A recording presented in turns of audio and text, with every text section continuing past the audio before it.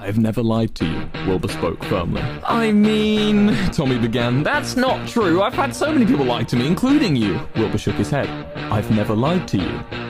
What about the pits? What about the stuff you said about Tubbo betraying us in L'Manberg?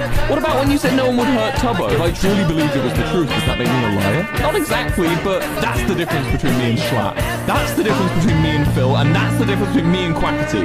I have never lied to you, Tommy. I've been wrong, but I've never lied to you, Tommy. I won't lie to you. Do you trust me, Tommy? Because right now, I feel like you don't trust me. I trust you, Wilbur.